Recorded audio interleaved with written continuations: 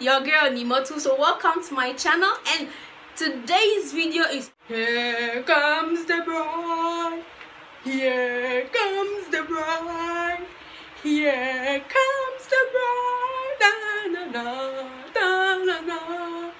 Okay, so it is more of the African um bride, the don'ts for African bride. Okay, so there are these two basic things that African brides are not supposed to do during their traditional marriage. Okay, so basically, these things are of significance, and what it does is one, there are so many myths are surrounding the first one and the second one well if you rush and do it because they say don't.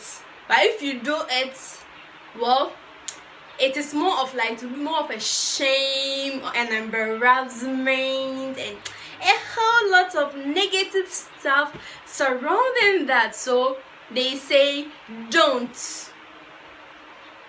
Auntie says don't. Mommy says don't. If they catch you.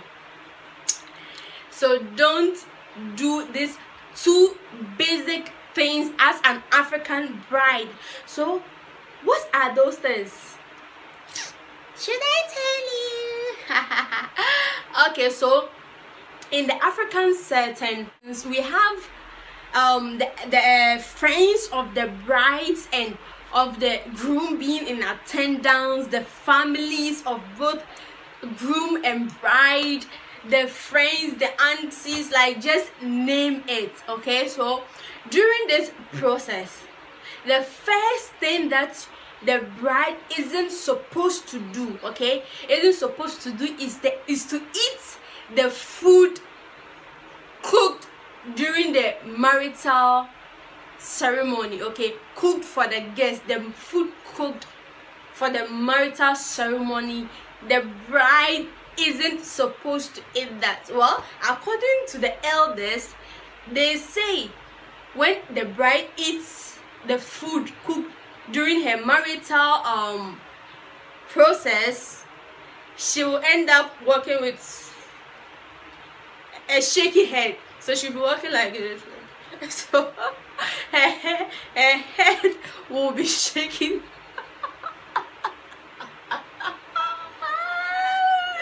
yeah so this this uh this is like the reason why they said brides shouldn't eat during their marital process. And there is also another reason which is according to the elders you might have an enemy somewhere an unknown enemy somewhere or someone who is basically hating on you. Like we have haters.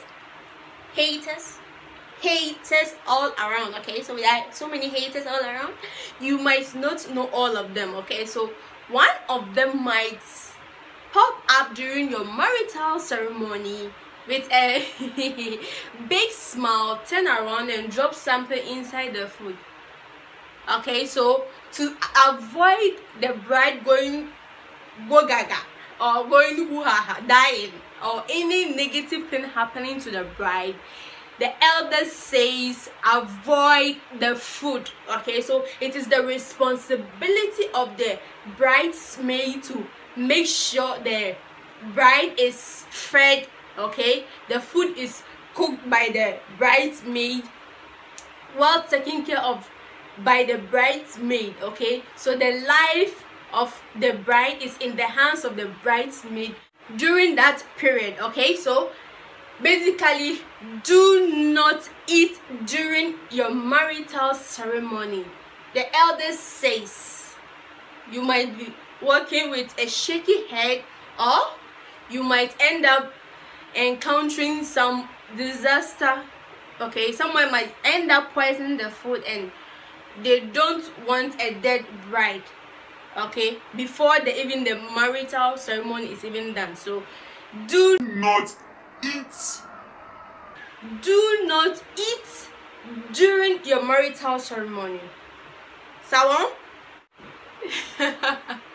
Really? Huh? All right so let's go to our second don't okay? So as a bride okay after everything is done and settled and you have been or you are being taken to your husband's home during the night do not never ever ever never ever never ever ever never show them the road to your husband's house okay? Never don't like don't like this is like the biggest embarrassment like according to according to the elders it shows that like it proves not even it proves that the man might have had a sexual relations with you. And because what what how come you how how did you know that? Okay? How did you know that? Who showed you that? Who showed you? Who showed you that? And what did you go there and do? How come you knew that? What were you doing there? Yeah so they'll end up even if you innocently went there to maybe check up on him when maybe he was sick or something maybe that's how you go to know the place. Or maybe you were passing by and you saw him and went, oh so here this is where you stay. Oh nice nice nice nice. Oh nice nice nice nice. That's great you know? They don't care okay? They would conclude it's either you have had a sexual relation before marriage okay? So that's the typical conclusion of the elders and that uh, poses as an embarrassment for you and your family and they'll see you not to be chaste okay? So to to prevent exposing yourself just shh, shh, shut up sit quietly and allow them take you there. Even if you have been there trillion times do not show them okay? If not even when they say ah we are even lost we don't even know the way. Don't don't even cough. Let them find their way to the place. All right so do not show them the way. Because traditionally in africa when you are being sent to your husband's home they normally the elders go with you roughly about four three or five elders go with you. They take you there to your husband's home. So during that period some might even know maybe the driver knows the place but who knows? They'll still want to test and see if you really do know the place. Should in case they ask tell them you don't know.